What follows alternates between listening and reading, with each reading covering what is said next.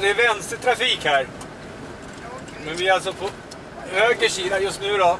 Det verkar vara det mest framkomliga. Vi har några bilar framför oss som, som vi följer. Som vi tror kan det här. Och det ska... Wow, och nu händer någonting där borta. Och, De håller på att krocka. Puff.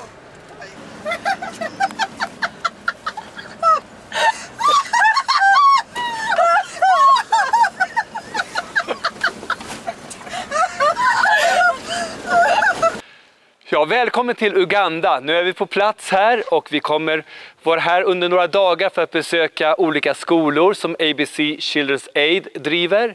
Vi kommer också att göra hembesök som du kommer få vara med och se hur det är ute i börsen där familjerna bor och situationen för barnen i skolorna. Genom ABC Children's Aid stödjer vi idag tre skolor i Kampala och en skola i Ratchkoko i norr.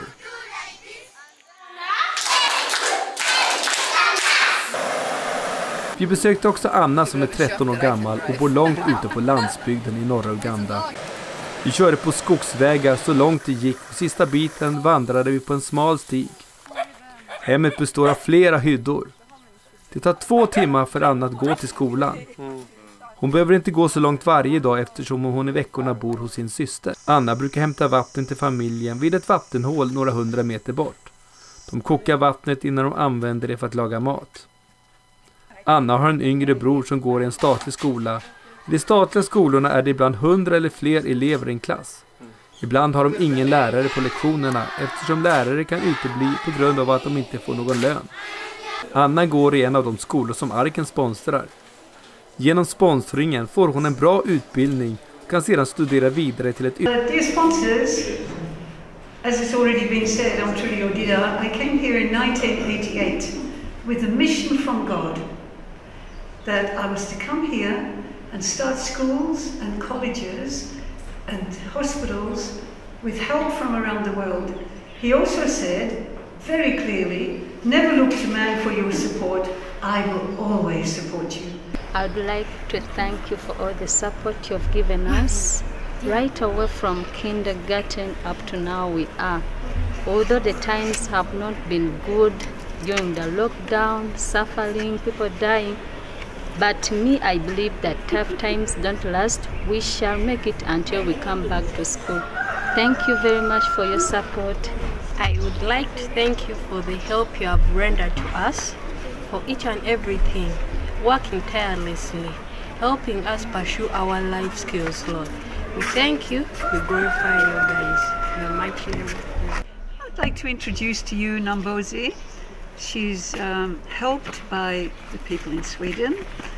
And during this lockdown, like many, many other young girls, she had the misfortune of getting pregnant. That is one of the saddest things in Uganda. We've just come back from the north, and there are hundreds and hundreds of children like Nambozi. And who will look after the baby? My mother. Your mother. That's going to be good to have some help. So really, I think this doesn't really happen in Europe, but children in the vil- villages here in Africa, it is so, so sad, worse than COVID. Girls 12, 13, pregnant.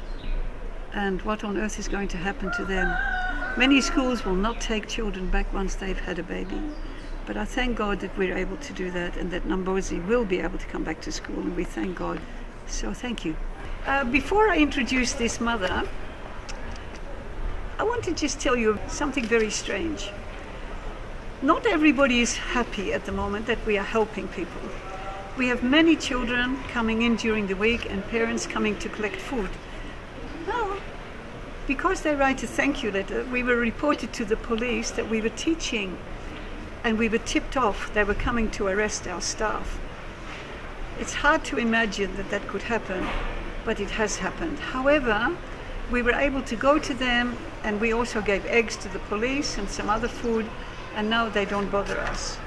But life is not easy, even for the staff who are working here. So, but let's talk to this mum. Tell us your name. I'm called Nagawa Justin. I have two children here. How old are they? How many years? The one is 12, the and the second one, the second one is eight. Okay, I've got another mother here. She doesn't look like a mother. she looks like a secondary school. No, But what's the name of your child? Um, my child, I have two kids, the Dalton and Daniela Nasona. You're looking into a camera, and these are the people who've been helping you. Oh, thank you. You know, there's a saying the poor usually live in slums and in poor places. Our values are the poorer the people, the better the structures, the better their environment, and the better the way we treat and speak and see people. These are God's people. He loves them. Hi, What's your name? my name is Matuja. And which class are you? Senior one. When did you receive sponsorship? I received sponsorship since baby class. And how has that helped you and your family? It helped me so much because I managed to reach senior one at CCK. And what have you been doing during the lockdown at home? I've been helping my mother with home school activities like helping her dig those home activities. Okay, so what is your dream? What do you want to become in the future? I want to become a doctor. Thank you for helping us.